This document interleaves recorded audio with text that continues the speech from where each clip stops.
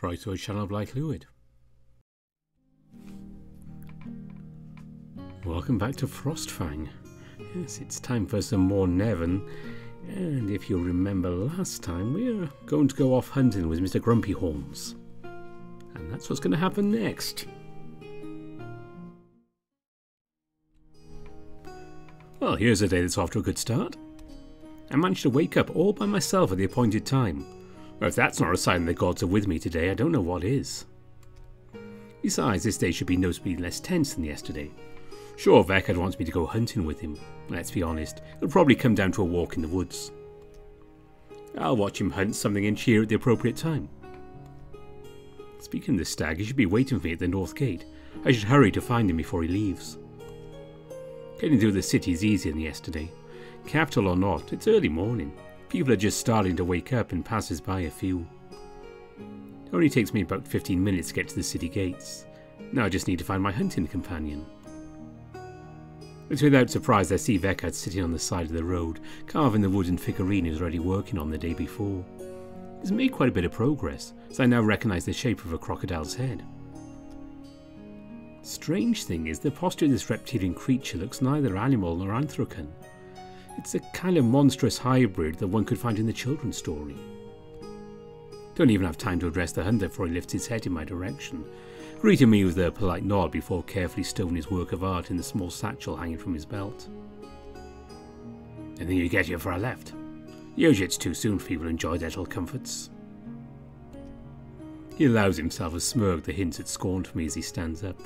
What does he think I am? You know, I've rarely lived in one place for long. I'm used to getting up early and leaving in a hurry. Getting up early is a good start. Are you able to be efficient after waking up? Dearest Vekhart, I have survived huge binges followed by very short nights before our gigs even started, and I captivated the crowds despite my hangover. So it's just a little forest walk in the morning, I should be able to get through it. We're not here to walk, we're here to hunt. And the first rule of hunting is to be quiet. You must avoid scaring our prey. Vekhart's insistent look is enough to make me realise our discussion ends here for now.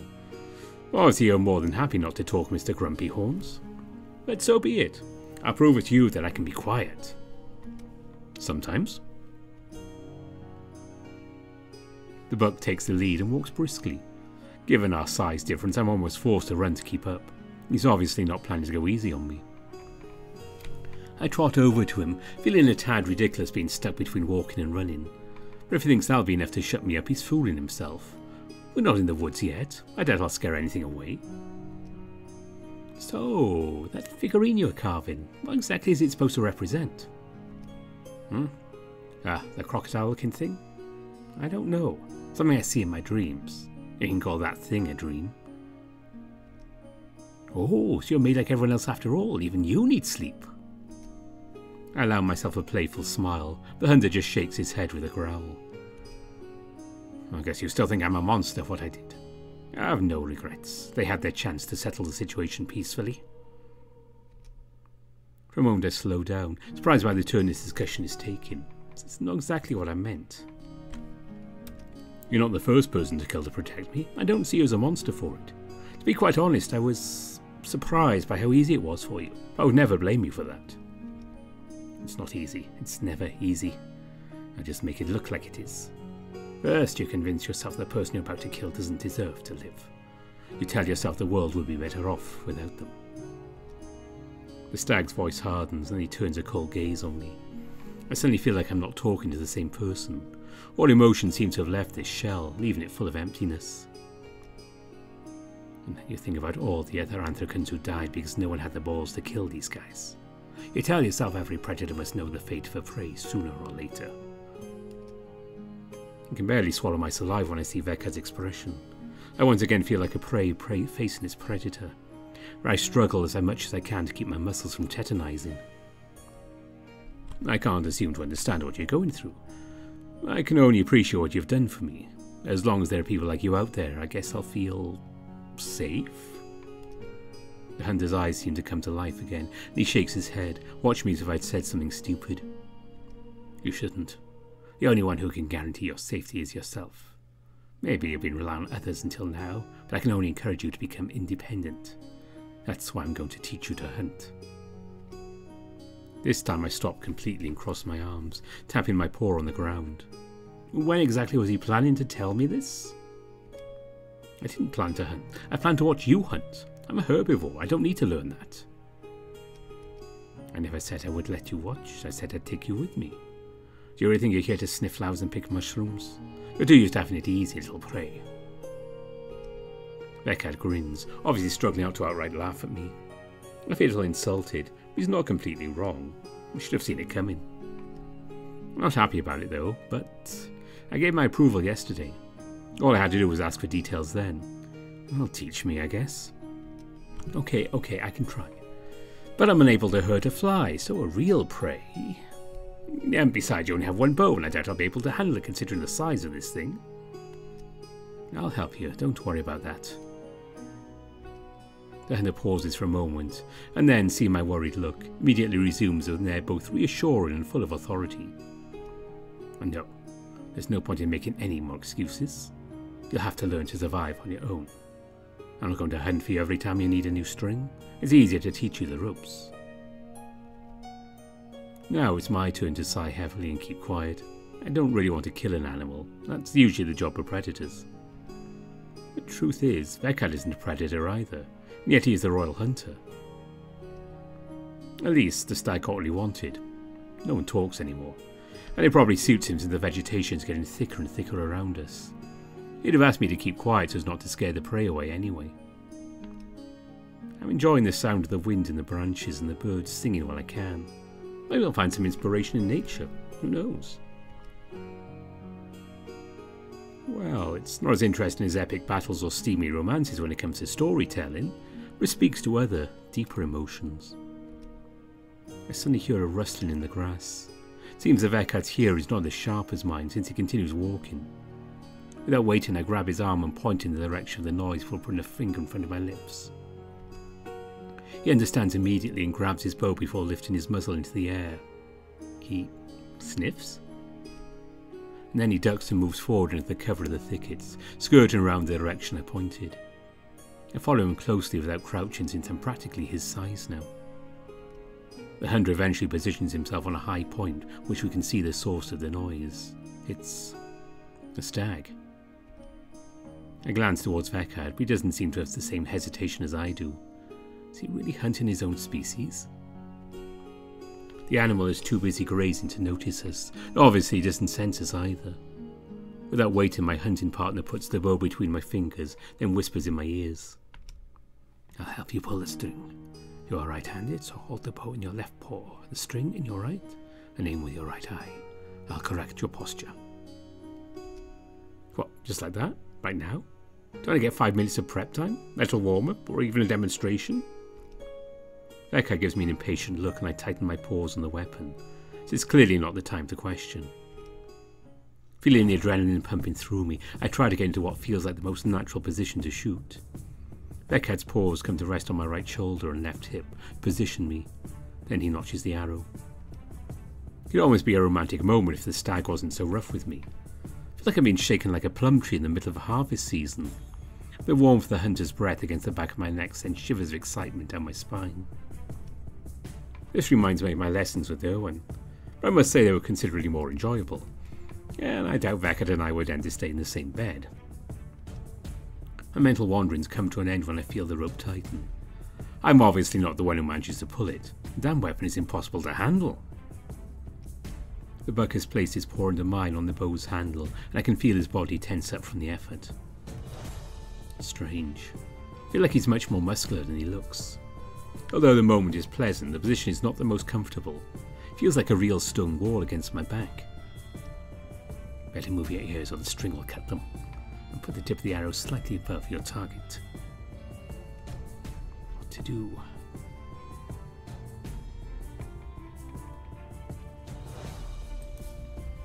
Under the hunter's guidance, I'm careful not to let anything stick out while correcting my aim. That's when he releases the string. I can feel the gust caused by all this tension suddenly released, and the projectile goes at full speed into the animal's side, with so much power that only the fletching protrudes. For a moment I'm torn between the excitement of having succeeded and the fact that I've killed an animal for the first time. But by some divine intervention, the animal is still standing. He bolts immediately after the initial surprise while I stand there, my body shaken with the adrenaline of the moment yet not knowing what to do. I barely have time to understand what I have to do when Vekhart has already launched himself after the beast. I shake my head and try to follow him, but his size and the fact he's used to moving through the thickets ensure that I lose him very quickly. Only my ears can guide me now. I follow the sound of cracking branches and leap as quickly as I can to keep up. Eventually only silence remains. Vekhart, where are you? I realize how quickly the quiet of nature that I found poetic and inspiring until now could become oppressive. I don't know what kind of predators these forests might harbour, but I'm just a rabbit. No, Eric, have some balls, damn it. You're not a child. Everyone's been telling you to toughen up since you got here, so you better show them what you're made of. I grab the grip of my rapier and pull it out of its scabbard, then turn my head to try and catch any sound that might come up. Shit, not even a bird. Eric, over here! Oh fuck, he scared me. I turn to the source of the noise. Doesn't seem to be very far. I keep talking, I'm coming. I resheath and take a breath before moving towards Vekhart's voice, who shouts intermittently until I find him kneeling beside the animal, which is now quite dead. The stag smiles at me. That simple expression seems more shocking to me than seeing the carcass of an animal of the same species as him lying on the ground. A nice shot for a first time. But look, we got unexpected help. He pulls the prey's head by its antlers, revealing three tears in the neck. Blood drips from them to form a small stream that gets lost among the dead leaves. Well, Snow never did this. I had to chase it away. I suppose I never have to share with the weakling if the wild animals get involved. Looking up at Vekhart, I expect his usual grumpy look. But he's still smiling. Will that be teasing? No, I'm going to pass up the opportunity. I need to answer him with a quip too. Are you sure you're Vekhart? I was planning to spend my day with a rather grumpy stag. You didn't happen to see him in the bushes, did you? Well, I did find a stag, I guess. Didn't have time to chat with it, see if he's grumpy, though. The hunter chuckles and pats the corpse. It's a little icky, but a bit of dark humour doesn't hurt after all that tension. It's my turn to take a look at the dead buck. It's disturbing to see Vekhart behaving so nonchalantly with it. I don't understand. Isn't this supposed to be taboo for you? I mean, I'm not judging you. It just surprises me. I point to the carcass of his prey to make Vekhart understand what I'm talking about. He seems to think for a moment before shrugging with a puzzled look on his face. Aye, I killed two bandits. I'm a hero. I kill an animal, so I should feel bad about it. Oh, it's not so much a kill of an animal that seems strange to me. It's just that killing an animal that looks like you I could kill an Anthracan of my own kind and not feel bad about it, you know? Well, let's say it's a different moral for sure. I think Vekhart picks up on my concern, since he looks embarrassed and rubs the back of his head with his paw still covered in blood. Oh, yeah. I know what you mean, I think. I know it's usually frowned upon to do that. After all, it could have been me. The stag lowers his eyes, plunging his gaze into the now lifeless eyes of his animal counterpart. That said, I don't think that sharing the same species make us close to each other. I believe the gods did more than give us our intelligence. I don't know if I explain it very well. Still, Trip surprises me more and more. I didn't expect to be discussing theology with a grumpy hunter deep in the woods in front of a dead buck. I think I understand. But you know, we'd better settle down somewhere you'll want to have a discussion about this kind of subject. The place isn't really optimal for that. He just nods for grabbing his game to put it on his shoulder, carrying it like it weighs nothing. Then he motions for me to follow him. I know a nice place. Come on. After a good half hour walking, my paws are hurting and I'm struggling not to grumble too much. After all, this is my punishment for breaking Akhet's loot. Sort of. Besides, it gives me a better understanding of Vekhart. He seems to open up a lot easier when he's in his element. Eventually, we come face to face with a rocky hill that Vekhart begins to climb with ease. Oh, oh no. Why do we have to climb? I hate it. Well, Eric, focus. And inhale. It's okay, it's just a few rocks. It's not like he's asking you to climb a ladder. A ladder, now that would be a good reason to panic. Now, exhale.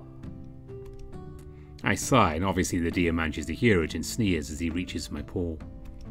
Tired already? I simply give him a jaded look for grabbing his forearm. He pulls me along effortlessly, even propelling me over him. Easy there. Not so fast and not so high. You should keep up with me if you don't want to be tossed over around like that. And stop complaining, I'll carry on my shoulder right next to our prey. The nausea rises in my head just at the thought of being treated like that, but I quickly pull myself together so I don't suffer that fate. Even get a head start by climbing the small hill without looking back, knowing full well the dizziness will go to my head if I do. The sooner I get to the top, the sooner this whole thing will be over and I'll be back at a reasonable height. Once at the top, though, I'm speechless for a while. The view is magnificent. The rock on which I'm perched offers a splendid panorama over a frozen lake below. This one glistens in the sunlight, acting as a gigantic natural mirror. As long as I don't look directly below me and ignore the emptiness, this place is really a tall wonder. While I'm busy contemplating the view, Vekhart joins me and cuts off any sense of awe by dropping the animal's corpse. The more time I spend here, the more I realise that the romanticism of my songs will have trouble getting through to this audience. So, what do you think of the view? It's really, really beautiful, but can we have looked at it from a little lower? I'm having trouble with the altitude and all that. Oh, Are you afraid of heights too? I groan for dropping to the ground, just so I don't get dizzy anymore. I already got the talk about my physical weakness the day before, no way else into that again. Let's just change the subject if you don't mind. You were telling me about the gods earlier, and that's a very interesting discussion. And as usual, I'm showing incredible talent for subtly diverting the conversation. Ah, looks like I hit a nerve. I'm fine with changing the topic. The hunter grabs the bone handle of his knife and begins to skin the beast before my eyes. I can only look away. It's far too strange to watch him cutting up another stag. Not to mention it's not exactly the most pleasant sight. The noise is more than enough to make me shiver. Yuck. What makes you think we're more than intelligent animals then? Uh, ability to kill. Some people think it's an animal instinct, that it's normal for predators. I'm living proof that it's not limited to them. So my question is, did the gods give me this ability, or does it come with intelligence? Did they give us the ability to choose our path by making us capable of deep thoughts? You know what it's like to be a herbivore, a prey. You know how I can feel. Isn't that just an excuse not to change, to tell ourselves the gods made us this way? I know what it's like, doesn't mean I want to kill others. Besides, I have instincts that rabbits generally have, so I'm not convinced I have a choice in the path I want to follow. Although, thinking about it, my training yesterday proved to me that it's possible to go against my nature. Melbjorn helped me break free from those constraints, if only temporarily, and by the way, speaking of him, a change of subject is going to seem a bit abrupt, but something intrigues me. Now go ahead. Anyway, we have time to spare, there's still some cutting to do. Lovely. But let's say I don't understand the interest you and the prince have in me. Am I missing something? Yeah, it's true he invited you in his little sparring session. Well, I can't speak for the prince, but as far as I'm concerned, it's more curiosity than anything else. Besides, among all the candidates in the contest, you're the one who annoys me the least for now. I guess that's a compliment coming from Vekhart. Sort of. I smile and tilt my head, equally curious to hear more about his opinion of me. I get too confident. Between that annoying diva and the colourful cunt with the broom up his ass, it's not hard to be tolerable. Oh, I see you've met Sven. It's in his nature to be unpleasant, don't worry about him. It's in my nature too. Doesn't mean I piss everyone off. For once, the hunter's grievances aren't directed at me, and I don't intend to complain about it. Besides, if you win, I won't be the only commoner with an important position in the castle anymore. I like that. Someone else will have to suffer the crazy whims of the nobles, which means I won't waste my time with them anymore. Oh, and what kind of crazy whim should I expect exactly? Oh, if only you knew. The other day, King Lux told me the Mercadian diplomat wanted me to hunt a mink and bring back its fur. And do you know what he did with it when I brought it back? No, but please, go on. He used it to wipe his ass. Ah, I can tell you Lusk and I were pretty damn surprised when we heard about this. I widen my eyes and start to giggle. Vekhart joins me and tries to keep his composure while resuming his story. A whole fucking day of hunting to find something to clean his ass.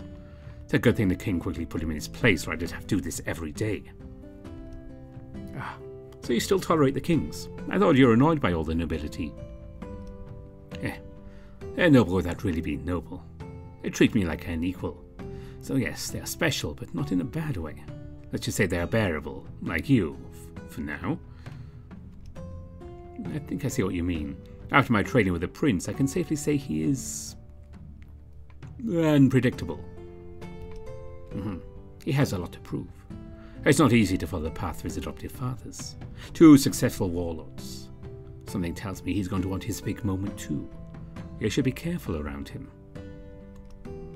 I raise my eyebrows, question Vekhart with a look as I try to figure out what he knows about the bear.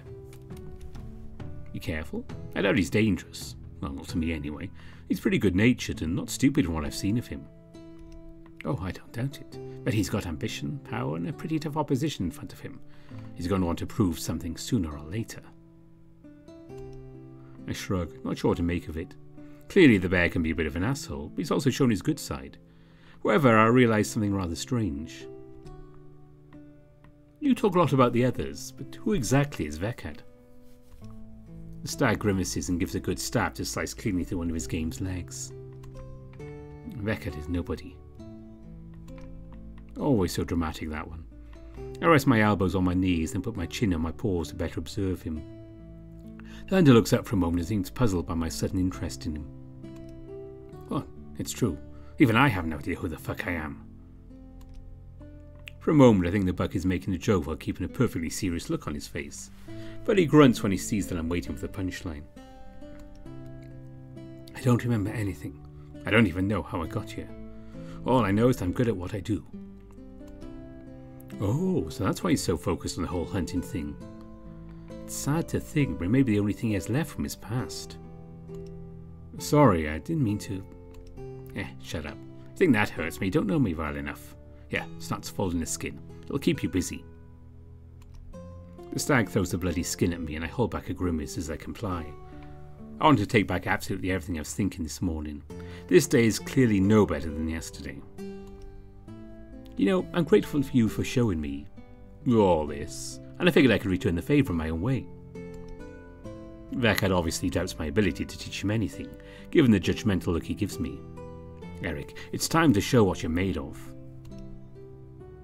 I can't teach you how to be likable, but you know, I have a couple of techniques to make sociability within your grasp. I take a mocking look as I say this, which draws a chuckle from the hunter. This is a lost cause. I don't need to be social because I don't care what other people think of me. Oh, come on, give me a chance to do something for you with my many talents. For a moment I think back to Melbjorn and the way he explained things to me through music. Could I do the same thing with Vekhart and hunting? You know, there are many predators that hunt in packs, so sociability is also useful for you. That's because they're not good enough to hunt alone. Ah, I wasn't talking about hunting literally. I don't know. Don't you want to settle down? You could find love or even just have someone by your side for other reasons than hunting. What other reasons? I have the good reflex to slap my forehead at Vekhart's complete innocence of what I'm trying to explain to him. Naturally, all the blood on the skin I was folding comes squirting all over my muzzle. I let out a squeal of disgust and gather as many leaves as I can to rub my face. I hear a small laugh coming from Vekhart. At least my misery is amusing to others. I guess that's better than nothing. Okay, I'll give you that. Can we find a hunt with someone else? That wasn't really the message. It's a start, I guess. The stag begins to gut the carcass, scavenging what he needs and throwing away the rest. He empties the bowels in front of me, which makes me gag from both the smell and the sound. I really picked the worst time to discuss romance and other aspects of being in a relationship. Are you going to tell me you have really have no other need than to hunt? I eat and sleep like everyone else. Nothing exciting. If he keeps this up, he's really going to make me say it out loud. Not that I mind, but it's so obvious it won't occur to me he'd avoid the subject of that meaning to. You know, when two people really, really like each other, they. Ah, yeah, they fuck, sure. About time. So, let me get this right. When you have to leave people alone, you're intrusive. When they need explanations, you beat around the bush. I must say, it's kind of fun trying to get you to guess that. I'm surprised it didn't occur to you sooner. Besides, I can't imagine you're not successful in this area. I'm not really looking for it, though. It'll come when it comes. Well, if you want, I'm sure I can help you hunt, then. I heavily emphasise the word this time. I wiggle my eyebrows at him with a lecherous look. Hopefully that will be enough to make him understand the metaphor this time. Yeah, yeah, we'll see. But for now... The hunter stuffs the offal into a bag, leaving the rest of the corpse there. Without a word, he runs down the slope. It's always so abrupt when it comes to ending the discussion. Hey, wait for me, I have short legs. I try to keep up. Last moment, I realize how high up I am and suddenly get dizzy. Oh, crap. I grab something, Eric, and quickly. My momentum combined with the dizziness causes me to stumble right towards the buck. I can only catch myself on his antlers. So here I am, hanging with a small, embarrassed smile on my face as Vekhart stares at me with a jaded look. I hope that's not your hunting technique. He sneers and finally grabs me by the hips to put me on the ground before continuing on his way with an indifferent air. I know you won't believe me, it was purely accidental. Who says it's you I'd want to hunt, hmm? He wants to play hard to get, then can return the favour. I'm not an easy rap and I certainly don't need teenage flirting techniques. No, sir. When I want to seduce someone, know that I deploy methods that are close to art. I am a maestro of courtship, and what comes after as well. Besides, as I'm particularly repulsed by him, he's pleasant to the eye certainly, but he has a particularly bad temper, and I have a promise to keep. You'd have to know how to hunt for real before you can think about hunting me. This whole metaphor is getting a little tangled, but if it makes you feel any better, it wasn't a pick of attempt. Sure. I can feel all Vekhart's perplexity in his voice, so much so I don't even need to see his face to understand he doesn't believe me. I sigh heavily and shake my head. What's the point of trying to convince him otherwise anyway? This guy's as stubborn as a mule. You believe what you want if it flatters your ego. Talk too much. I'm hungry, no time to think about anything else. What the fuck? Why does that bother me? It's not like I fell on him on purpose. It's all the more annoying because Vekhart doesn't seem at all embarrassed or even amused by the situation. He just goes about his days as if nothing happened. I feel like a kid pouting in his corner. Again, only the sounds of nature break this silent and monotonous stroll. I can only sigh relief as I see the machicolations of the capital's towers in the distance. Really hope I'll have time to catch a breath today. Once we get back to the castle, Vekhart nods at me or dropping his messy bags. It wasn't bad for the first time. You still have to learn, and you will. Besides, discussion wasn't pleasant either. I'm stunned for a moment, then I smile frankly at him. He compliments half-heartedly, but he compliments nonetheless. I'm not the only one who starts to learn, but I can see efforts are made. Thank you for the trip, Mr. Grumpy Horns. Ah, finally. He raises his eyes to the sky. It's been a while since he did that. Instead of talking nonsense, take that. Then the rummages through his belongings and pulls out a string which he stuffs into a small purse before handing to me. I'll teach you how to make strings yourself, but for now, just take it. Don't wait to look forward to spending more time with him or to regret in advance the fact I'll have to handle the guts of an animal. Either way, it deserves my thanks. Sure, I'm looking forward to it. Well, thanks for this. I'll tell Akhet that it's thanks to you having loot like new. Yeah, I'm just doing my job. Go away now, I need to rest. Have a nice day. Oh, and with that friendly exchange, I hop happily back to my room. In the end, getting to know new people might be more pleasant than expected. I notice a few looks that are strange, to say the least, as I walk to the castle. Strange and not very positive. Something on me or what? I look down and. Oh, fuck.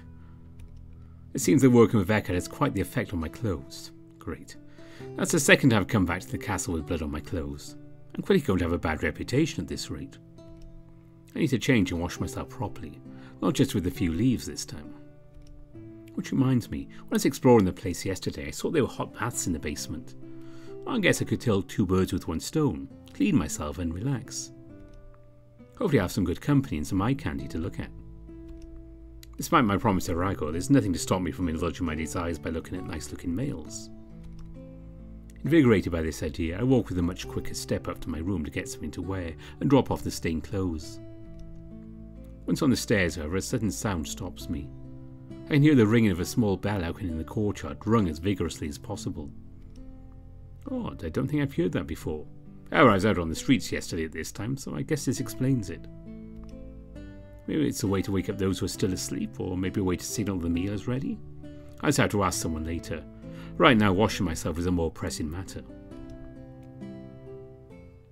The basements are heated, and I think it has something to do with what heats the rest of the city. What could it be? Another question I'd have to think about asking at some point. But the baths themselves are pretty well organised. They're separated into two sections, one filled with small basins for washing up, while the other is occupied by larger pools meant for bathing. What is truly strange is the soot and burnt stone on the wall in front of the door leading to the pools. It's an odd place for a fire-related incident, I must admit. I'm guessing there's a story connected to this, and it's probably even related to Tenoch now that I think about it. Given the size of his brand, he must be able to set an entire wall on fire if he wants to. That said, before I can enjoy a bath, I'm going to have to wash up a bit. I undress as quickly as I can before wrapping one of the towels hanging against the wall around my hips. Let's keep it decent, well, at least for now. Lined up against one of the walls, there are about ten small buckets filled with water, and a few soaps are also available to all. I grab one of the buckets and start wiping my face when I hear a thud from behind the door that leads to the baths. Yeah, fuck! The door swings open with a bang and a jet of flames crashes against the already ash black wall. I feel like my hair is scorching from the heat. Within seconds I've been caught in that inferno, and all that's been left of me is a roasted rabbit. It's getting to be a few times I've now escaped that kind of situation in three days. I wonder if Frostfang will end up killing me soon. so much the grandchildren want me to have, Rago. A few seconds later I hear a loud splashing sound followed by a high-pitched whistle and a jet of steam escapes through the door. What in Argon's name is going on in there? I approach the door as cautiously as I can. I have no desire to get fried, but I'd really like to know what happened. Anybody there? What, uh, Eric, what are you doing here? Tenoch? A little reassured by the presence of the lizard, I step into the room to try to see something. That's not exactly an easy task. A thick layer of steam diminishes my field of vision, and I can barely see a meter in front of me. Given the location, and the fact I'm wearing a towel, I think it's pretty obvious what I'm doing here. Uh, didn't you hear the bell? What kind of question is that? Yes, I did, but I'm having a real hard time seeing what that has to do with you almost burning my ass just now. As I reach the centre of the room, I can finally see the bath itself, and standing in the centre of it is Tenoch, completely naked.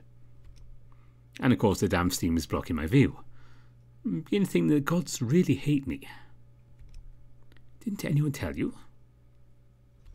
About what? That the baths catch fire from time to time? All I hear is a sigh, what little I can see of Tenoch seems to take on an apologetic look. Ah, shit, I guess I should have told you myself. People must have thought I did since you entered the castle with me. Tenoch, I'm seriously going to need some more explanations. Uh, sorry, sorry. It's just that when the bell rings in the courtyard, it's a signal I'm coming down here to train with my brand. As you've seen, it can be dangerous rather than be in the same place as me, and the water basins allow for any excess flame issues to be addressed if needed. Indeed, that would have been useful information to have a little earlier. Now, I could have asked what the bell in question meant when it rang. But hey, I get a little favour from the lizard by exaggerating a little. I'm not going to pass up the opportunity. No one is hurt. I guess that's good enough. Now I have to admit that my fur is a bit singed. Are you going to make up for that? Tenoch gives me a surprised look for grinning as he slowly moves in my direction. Oh, I do have some ideas on how best to make it up to you, and I don't doubt for a second that you'll like it. Now we are talking. Really? Uh, what do you have in mind, Mr. Ambassador? He walks the edge of the pool before holding out his paw to me, obviously expecting me to grab it. I've warmed up all this water. It'd be a shame not to enjoy it. I prefer my baths cold, but if it's to enjoy such a pleasant company, I'm willing to make that sacrifice. I only spend a lot of time thinking about what I should do here. Without the slightest hesitation, I grab his paw and drop my towel.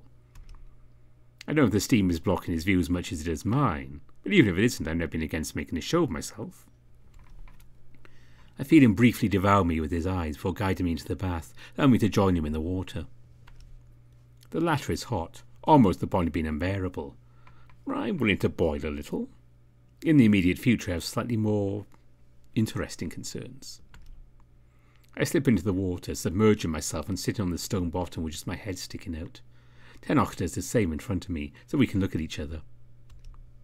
I really hope you'll enjoy that excuse. It's a good start, I expect more. Oh, Mr. Fluffy Butt is demanding, I see. But I don't doubt for a second my ability to find a way to satisfy your desires. I'd only see his face through the steam to understand exactly what he implies. And the gods, I might find someone even less subtle than me. Unfortunately for Tenoch, I'm a master at this little game. I'm absolutely in the mood to give him a little lesson. I let myself slide as much as possible into the bottom of the pool, while stretching my legs in front of me, accidentally rubbing them against Tenoch's. Well, if you really want to make up for a little more, I have my own idea of an excuse. I feel his leg quiver under my touch, while the grin I see through the steam seems to widen even more. Oh, really? And what is this wonderful little idea, hmm? I run my paw up his leg, gently caressing his thigh, before straightening up as if nothing happened. Well, I must confess being very curious about what happened to you before I arrived. Uh, do you mind if I ask you some questions? There's a brief moment of silence. For a second, I wonder if I pushed the envelope a little too far. Tenoch is clearly not into protocol and all that, but he's still a noble after all. Fortunately for me, the ambassador burst out laughing a few seconds later. You little tempter. I guess I deserve that, though. I appreciate the advantage. I know we bards have a reputation. You didn't think it would be that simple, did you? You already told me you didn't want an easy win, after all. One can dream. But I don't mind. Your resistance only makes the reward more exciting. And who says there will be a reward? Oh, I know there will be. Sir, you are full of confidence, all I can see. Not that I don't like it, quite the opposite. Oh, let's calm down, Eric. I know the water and steam hide a lot of things. Let's not take unnecessary risks. So, uh, what kind of questions you want to ask me? Hmm? Oh, yeah, right. I did say that. Probably would have been better if I had questions to ask. I think before you speak next time, Eric. Come up with something, and fast. Uh, oh, yes. It's just that, considering the size of your brand, I didn't expect you to need to practice. You should be able to do pretty much whatever you want with fire, right? Still more complicated than that. I guess not having a brand makes you miss some information. Wait a minute. How does he know I don't have a brand? Don't exactly make it a secret, but I don't think I've ever told him. I don't remember telling you that. You're not spying on me, are you? I enjoy attention, but I have my limits. Oh, no, rest assured. You're cute, but not that cute. It's just that this morning it's a weasel spent all the time bitching about you. I was able to glean some information by listening very carefully. Sven. Of course he did that. I'll have to calm him down sooner or later, if possible by humiliating him a bit in the process. That'll be deserved. You should ignore what he says. He holds a personal grudge against me. I thought so, yes. I don't know what you did to him, but he's clearly angry with you. Tenoch chuckles while I roll my eyes at the ceiling. That damn weasel really decided to ruin my life. But to answer your question, that's exactly how brands work. Actually, the fact it's so big requires more training on my part. What it offers me primarily is raw power. I'm able to create the greatest flames ever seen in Azracan memory. But that also means if I lose control of it, I'm capable of causing enormous destruction. I'd like to point out, however, that so far I've only caused one incident. We expanded my brother's room when we fixed it, so I don't really see why he's still complaining about it. You set your brother's room on fire. I accidentally set fire to my brother's room, yes. On the other hand, it's all his fault. I just received my brand, and he spent ten minutes yelling at me under the pretext I stole his place as heir of the family. Hold on. Slow down a bit, will you? You've taken your brother's place in your family's succession. Oh, of course. I have a brand of Argon, after all. I expect more explanation. Obviously, the lizard is done. What could his god possibly have to do with this whole situation? Uh, Tenoch? Yes? Can you elaborate? Yeah, I keep forgetting your kingdom functions differently. I'm sorry, it's a bit long to explain, though. I might as well start at the beginning. Do you know the differences between an anthracan of your kind and a lizard? The scales? I guess I should have seen it coming. I have a hard time not making jokes when they're obviously offered. It's not the only type of hard time you're going through right now, is it? Again, I roll my eyes. Does he ever stop? Keep your own hardness where it belongs, Ambassador, and go on with your explanation. I'll try to make an effort. More seriously, the difference between us is our origin. Although we're both Anthracans, our ancestors differ. What do you mean? Your ancestors were simple animals, beasts without an advanced intellect, on which the gods put their brands, making them conscious. Our ancestors are, however, quite different. They aren't mere animals. They were once the masters of fire and sky. We lizards are the children of dragons. His voice rings with pride and a touch of arrogance. Because, of course, Mr. Ambassador must have better ancestors than everyone else. I thought dragons were just a legend. Just because something disappeared doesn't mean it never existed. You see, dragons are the first creations of the gods, the oldest creatures Tesla has ever known. And like animals, they're already intelligent and even capable of using magic without a brand. Alas, they're also proud and arrogant. How surprising! Tenoch's ancestors proud and arrogant? I would never have guessed. It's basically impossible to attribute those personality traits to him. Not. So much so that one day they tried to defy the very gods. That sounds like a perfectly reasonable idea. I take it everything did not go as planned. What an incredibly deductive mind. I sense a slight disapproval in his voice. It sounds like Tenoch doesn't take too kindly to criticism of his alleged ancestors. I better remember that. He's in the jury, after all. As punishment for their attempted rebellion, the gods tore the wings off the dragons and removed their ability to use magic without a brand. And so we were born. I must admit I've never heard this story. This legend come from the Empire? It is not a legend. It is history. The history of my blood and my country. Sorry, I didn't mean to offend you. It's just that here, dragons are seen as monsters made up for the tales and legends we tell children. Ah, don't worry. It takes more than that to upset me. But it's true that I love the Empire and its history. We've accomplished so many great things, you can't deny the existence of these achievements.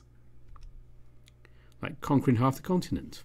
I mean, at least, unlike Mechad, you don't enslave your enemies, I guess. Well, that's all very nice. But doesn't explain to me how you took your brother's place in succession. That's fairly simple to explain. If you determine your heirs by whoever is the eldest child in the family, we determine ours based on their brands. The closer it brings us to a real dragon, the higher up the line of succession we are. And of course, the best possible brand is. He spreads his arms, and for a brief moment I can see an orange glow behind him as well as under the water, where his tail is. Two flames then shoot out from his back, briefly taking the form of bat wings for disappearing. Argon's brand. I gasp at the sight of such a feat of power. I must admit that he knows how to be impressive when he wants to. So, Hualpa wasn't the happiest when I received my brand. Hualpa is your brother, right? My older brother, yes. Actually, the youngest in my whole family. Oh, and how big is your family? There's my mother and father, of course, his three concubines, my three brothers, and my four sisters, plus half a dozen nephews and nieces. And that's only close family. And then people bring up the reproduction rate of rabbits. At least I'm an only child. So, if I get it right, you're now in charge of this whole family, just because of your brand? Exactly. I'm going to make sure I show them I deserve it, that it's not just my luck that I won this place. I suppose Hualpa didn't take it well. Were you able to reconcile? Tenoch's expression darkens for a brief moment. Uh, not really. At least he accepts my new position. He just doesn't appreciate what happened. And I think he hates me. That'd also be a funny coincidence. We're both hated by someone who feels we stole their spot. At least as far as I'm concerned, he's not a family member. Sorry about that. Well, you can't please everyone, I guess, and he'll get over it eventually. I guess that's one way to look at it. It's not really something I have any experience with, after all. Enough chit chat about me. I have to admit I'm also curious about little bunny here. Seriously, even him? I've characteristics than my size. I'm afraid my story is far less interesting than that of a mighty foreign ambassador. Everyone has something to tell, but since you asked about my family, you can't blame me for asking about yours, I suppose. This might be shorter than the whole dragon thing. I'm all that's left of my family. Oh, Eric, I'm sorry. Why? Not like you had anything to do with it. Besides, it's been a while. I never even knew my parents. I heard they were good people, that's it. Which didn't stop my asshole of a father from taking off and never coming back when I was two. It was my grandfather who raised me and made me the amazing rabbit you see before your very eyes. I lean as far as I can without dipping my snout directly into the water, mimicking a bow. At least I get a chuckle this time. It's reassuring to see I'm able to entertain nobility Kazal, at least. I'd say it didn't do too bad a job. A few things to improve, but nothing essential. But you said you're all that's left of your family, so I guess. Yeah, he died when I was 16. That's when I decided that since nothing was tying me into my hole in the mountains anymore, it was time for me to explore the world a bit. And I'd said didn't too badly. Look at me, sharing a bath with the ambassador Kazal Empire in the royal palace of Frostfang. There, there, there. Perfect. A nice little story, just sad enough for him not to ask questions, a bit of humour to divert attention. This way I'm sure no one will ask me why I really left. You know, you could be in a much better situation if you finally agreed to share something other than a bath with said ambassador. Perfect. A much less risky subject, one I'm much more comfortable with. Hmm, tempting, really. But I would hate to risk a diplomatic incident. After all, how do you know what a nobleman's reaction will be when he realizes he's not as skilled as his partner? I'd be careful not to overestimate yourself, Fluffy Butt. I also have quite a bit of experience in this domain. Tenoch, my dear, there are two things in life I have mastered perfectly. The first is singing. The second is fucking. You wouldn't stand a chance. Oh, is that a challenge? Because I'm absolutely up for it. His tail slowly comes to wrap around my ankle, moving up my leg, which is far from unpleasant. Rago, I really appreciate you, I do. But right now, I'd strangle you for that damn promise you want me to keep. Again, it's really tempting, but unfortunately, I already have my afternoon taken, and you probably know better than anyone that good things take time to come. After all, it'd be a shame to rush and finish too quickly, right? Sticking my tongue out at him before pulling my leg back, freeing it from the grip of his tail. If he keeps this up, promise or not, I don't think I'll be able to hold back much longer. Indeed, but I know to be as patient as necessary. We'll finish what we've started, eventually. Just wait until the contest is over, then we can get down to business, you and me. We spend the next few minutes just relaxing in the water, exchanging pleasantries. It's nice to be able to let loose a little like that. After the last few days, it's really welcome. The steam is disappearing as we talk, and I can feel the water starting to cool down slightly as well. I think that's a sign it's time for me to get out. Now, it wouldn't really be fun to just get into the water. It's have a little fun at Tenoch's expense. So many possibilities, though. It's hard to pick just one. What to do?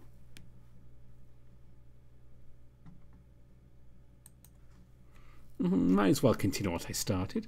Let the poor lizard imagine what I look like down there without giving him anything more than necessary.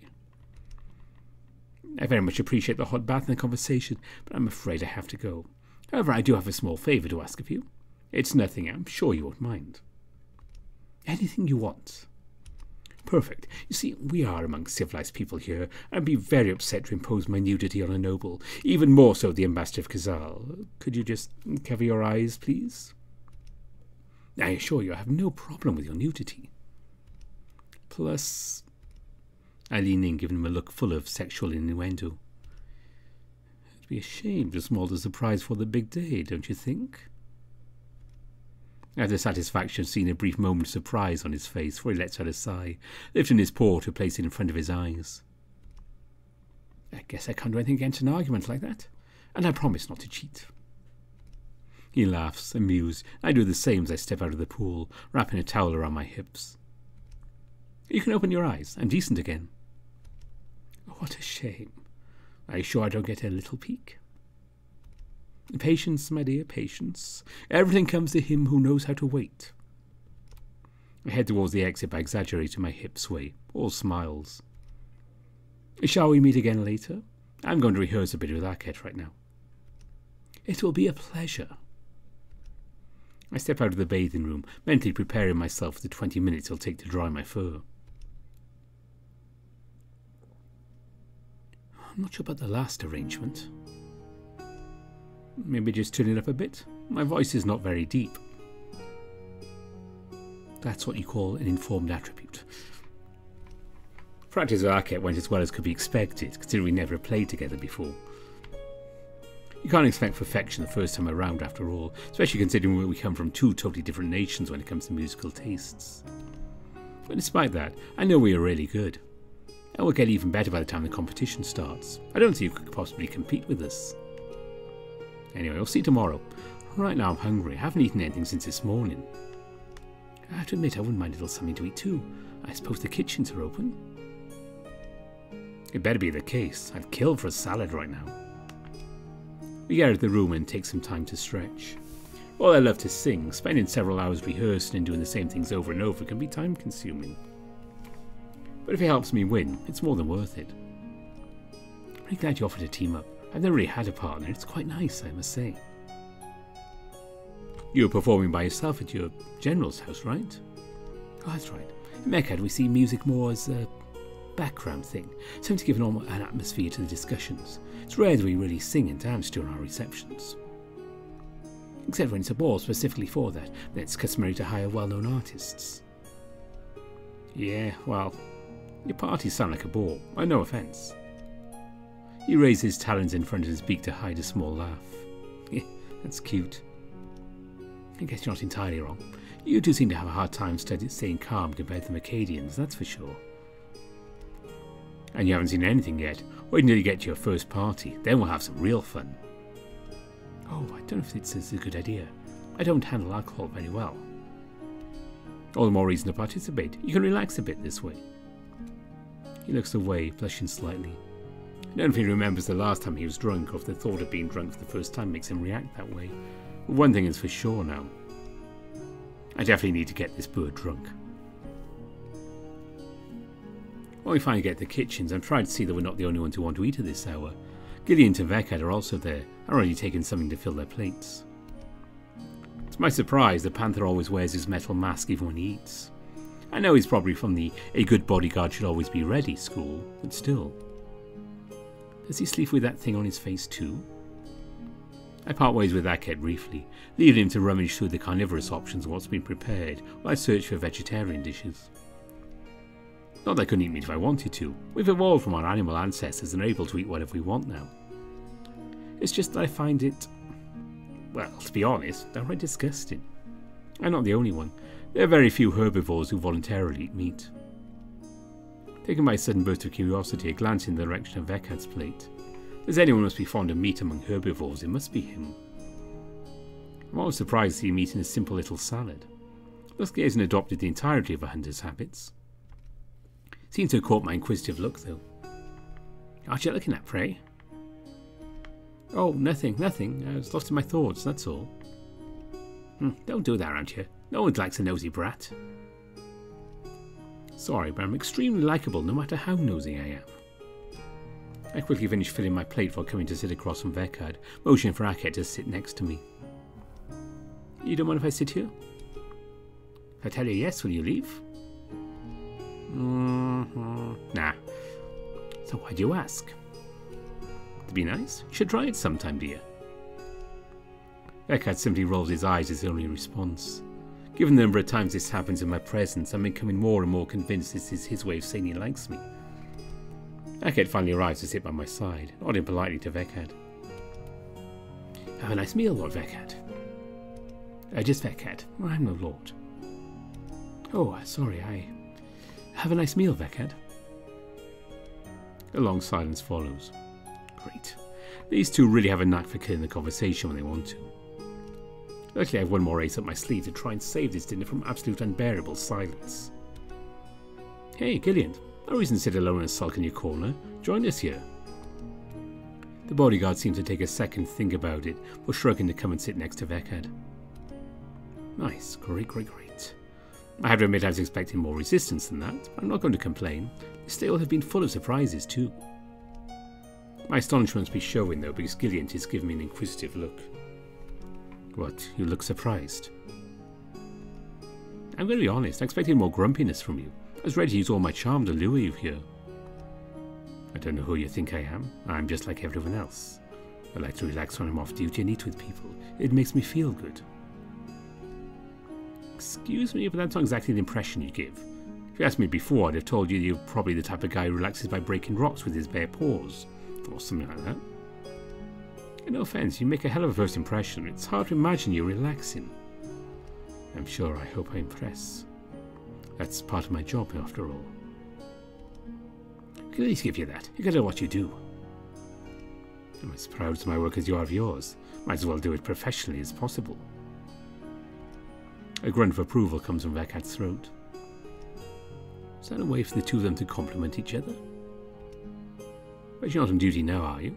Can you take your helmet off in a little bit? I'm sure it'd help you make, make you more approachable. No. Do you never take it off? No. If these aren't detailed answers that allow me to move forward in this discussion, I don't know what is. You're wasting your time. Since I've been here, I've never seen it without this thing. Don't think anyone's ever seen it without it. Don't be ridiculous. Of course I've been seen without my helmet. I've shown my face to the kings, uh, to offer them the respect they deserve. Speaking of the kings, how come we haven't seen them yet? I was expecting a personal welcome, but we should have run them into them in the halls by now. They're just not here. Well, the competition's only three days away. If, if you don't mind me asking, where are they? Gillian lets out a long sigh. Doesn't seem to be directed at Akhet. My lords take days off from time to time. The prince takes care of the castle in their absence. They have a secondary residence in the woods, the location of which is known only to them, the heir, and myself. This allows them, according to their own words, to release the pressure and thus be better able to rule. What can they possibly do for a few days stranded in the woods? A familiar voice whispers right next to my ear. They fuck. A high pitched squeal escapes my lips as I flinch in my chair. By the time I get myself together, I can see Vekhart snickering softly across from me, while at my side seems to be holding back from doing the same. At least Gillian doesn't look like he's making fun of me. Tenoch! Hey there, bunny. Is this payback for what you put me through earlier? He laughs softly while Gillian sighs again. Well, Tenoch, a bit of respect would be appreciated. You are talking about our kings. What? It's like it's a secret? They're married. and There's not a ton of things married couples do when they go to a cabin in the woods by themselves. And I already told you, forget about the whole lord thing. Carrying my name is lordly enough. And as I've already pointed out to you as well, it'd be disrespectful to your position. Tenoch sighed for giving me an insistent look. Well, we'll really have to work on relaxing him a bit. We? What, you don't want to give me a hand? You know I'm right here and I can hear you. Tenoch turns to the panther and offers a big smile, which causes Gillian to roll his one moving eye. And when do the kings expect to return from their uh, vacation? Tomorrow, maybe. Two days at the most. And you better believe he'll know when they're there. Aeon is everything but discreet. He likes to let people know when he's here. Oh, that's my kind of king. He enjoys a good show. That's one way of looking at it, I guess. Come on, Gideon. You have to admit that Aeon tends to overdo it sometimes. His Majesty Aeon has the right to behave as he wishes. The panther then looks away as if embarrassed by what's following. But I must admit my work would be greatly simplified if my lord knew how to restrain himself from time to time. There it is. You see, it's not so difficult. Even you're able to take a jab at royalty. Tenoch starts to chuckle. I feel myself quickly joining him. I can see Akhet doing the same from the corner of my eye. Becca lets out one of his amused grunts. I can see that Gillian seems to be smiling under his helmet. Not the situation is particularly funny, it's just nice. Be surrounded by companions like this and be able to exchange some jokes around a table. It's almost like I'm in a band again. I didn't realise how much I'd missed it. It's only been a few days. That nice moment interrupted, however, by someone giving a series of small, cheerful taps on the table, just enough to get noticed. When I turn my head, I can see a hyena, about my age, leaning on the table with a big smile on his face. Once he's made sure he's got our attention, he points at both Akhet and me. I spent a while looking for you two. Looking for us? Why, is there a problem? Uh, no, in fact, it's quite the opposite. My competition coming up soon, the rest of have figured everyone could use a break from all this stress. So, we're having a little party. Tomorrow night in the courtyard. We're going to have a blast and keep all those nobles awake. He laughs loudly before turning to Tenoch. And no offence, my lord. As if I intend to sleep while you're out having fun. I'll party with you. He bursts out laughing, quickly joined by the hyena. Perfect. Now you two, you join us? That depends. I have my own set of rules. Oh, really? Will there be alcohol? It won't be a party without alcohol. In that case, I'm in, and Akhet will be there too. What, but I... Alright, I'll be there. The falcon smiles shyly. I finally get the chance to see him relax a bit, so you're not going to let this opportunity pass. Alright, well, how you finish eating? Step people in form. Enjoy your meal and see you tomorrow. I at the party, and thanks. The fluid movement, he turns around and walks out of the room, almost hopping. Gives the impression of being a dancer with his grace. A real party, that'll do me good. I'll finally get a chance to let loose a little, have some fun, and evaluate the competition. I doubt a bunch of bards could hold back from singing at an occasion like this, so I'll have some scouting to see how good they are, and I'll also try to impress them. Either way, promises to be fun, while gatherings rarely mean boredom. Don't think I've ever attended an impromptu party like this. Do I have to bring anything? Must be an appropriate outfit. I'm not sure I have the right attire. Interrupt Akhet before he can continue monologuing.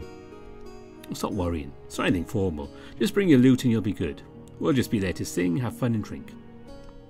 And make sure we don't end the night alone in bed. Tenoch burst out laughing as I watch Akhet go through a whole series of regradations. I'll be honest, I don't think it's possible to blush that much. But like you, Skilias. Some of us prefer to sleep alone. Oh, look at him pouting. I'll come along too. I'm sure we'll find a way to have fun. And you too, Gillian. You'll be there, but not for fun. An event like this is going to be an aberration in terms of security. I'll have to stay alert. Nah, not my thing. Ah, oh, buzzkill. Looks like it's you and me tomorrow. He smiles, he looks at Akhet and me. I can't even return the smiles the Falcon continues to look away, still red faced. Can't wait to see how this turns out. Something tells me it does not like to be boring.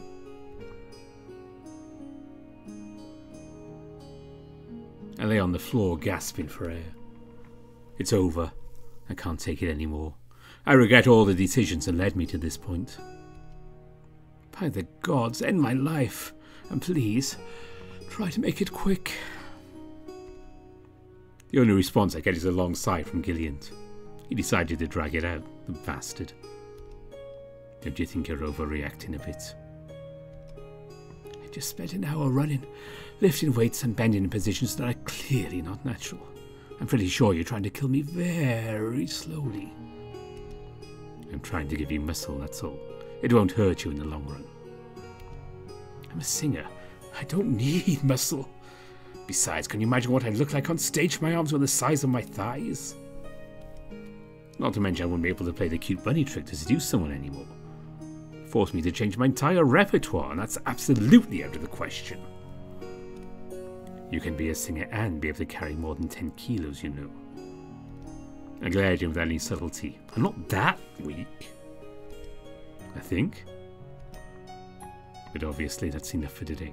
I wouldn't want to wear you out when you have a party to attend. Oh, right, it's a party tonight. I'll be able to let loose a little. It's actually very welcome right now.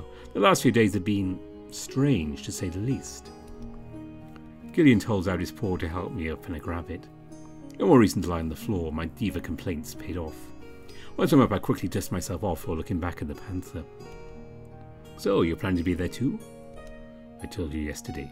My men and I will be there to provide security, not to participate directly in the festivities. Too bad. I'd love to see you dance. I'm sure you have the moves. I'm the only one here interested in the idea, obviously. Do you think will these people see Melbjorn at the party? His Majesty Melbjorn has not yet informed me whether or not he will attend the festivities, but I assume he'll show up, if only to keep an eye on what's going on. Maybe I'll get him to dance with me then. I wouldn't count on it, but I guess it's safe to try. So I have the permission of the captain of the guard to invite the Crown Prince to dance. Perfect. After this exchange, we store the training equipment in silence. I'll never admit to anyone, but I have to admit there's something nice about working out like this. Sure, I'm exhausted, but it's, uh, good fatigue? I think that's the word that best describes the feeling. Once I put everything back in its place, I waved to Gillian before heading off to my room. I know I told Akhet yesterday that no fancy clothes were necessary for tonight. Doesn't mean I don't have the right to embellish myself a bit for the occasion. I'm not going all out on the outfit. There's nothing wrong with wanting to look nice, is there? Not to mention after the workout Gillian put me through, a little grooming will be more than welcome. Maybe pull out some decent shirts. Nothing extravagant, just to look my best. Well, I made an effort. Only put on my second best shirt. That's a fine demonstration of my ability to hold back. However, I still have one more thing to do before I can join the others in the courtyard. Need take a look at my favourite bird and make sure he's not freaking out in his room. This really is his first time at their party. Something tells me it promises to be a most interesting evening. As I knock on Akhet's door, I wonder if he took my advice from the night before into account, or if he still decided to dress up in a special way. Plus, I'm really curious to see a Mechadian party outfit he puts one on. However, when the door opens, I'm almost dazzled for a few seconds. Akhet spent time, a lot of time, polishing the gold lines under his eyes. So much so that they are now shining very nicely. Guess it's another way for him to deal with his stress. I know it's better or worse than his monologues, though. Hey, I see you're glowing today. Tell me you didn't spend all day scrubbing your lines. Well, not all day, no. I'll settle for that. Something tells me you spent more time on that I would consider reasonable. Let's not talk about the time I spent trying to perfectly brush my fur. I have a very good reason for doing all this. I need to look cute to do my job after all. You don't think this is too much, do you? I wonder what I look like I've overdone it compared to everyone else. Nah, don't worry. Even everyone notices you. What's the harm in that? Enjoy the attention. Is what we do. Not everyone's like you. On stage, it's one thing for people to look at me, but I'm just me. I prefer to be discreet. Oh, I hadn't thought of it that way. For me, whether I'm on stage or not, I'm basically still being myself, for the most part. I exaggerate my personality a bit from time to time, that's all. I hide what I don't want anyone to see. most people do, I believe. That being said, it provides a fairly simple solution to Akhet's problem. Well, in that case, just use me as a shield. If you feel that too many people are watching you, let me know. There's one thing I'm good at, it's getting attention. And unlike you, I love it. I give him a brief wink and have the pleasure of watching him laugh timidly. I certainly have some interest in seeing my musician at his best before we perform. I also really want Akhet to have some fun now. Considering all he had to endure to get here, he deserves it. Ready to go then? I gotta tell you, I don't have at least a pint in my stomach before we show what we can do, I'm gonna be pissed. So, uh, you going to drink before you sing? Of course, I'm only better with a little alcohol in my blood. Akhet continues to look at me doubtfully as I give him my best smile. By the gods, this bird really needs to learn to relax. As we walk down the palace corridors, I begin to hear music come from the courtyard. Instinctively, I bob my head to its beat. That's my domain out there. That's what I'm best at. I want to be there. I want to sing. I want to dance. I want to get attention to be the main attraction. I want to be remembered. And will Eric be remembered by what happens at the party? Quite possibly. I've read ahead. I know what's happening next. But you'll have to wait till the next NeveN episode to find out what happens there. And that will be probably not too far away. I need to get back to this fairly soon.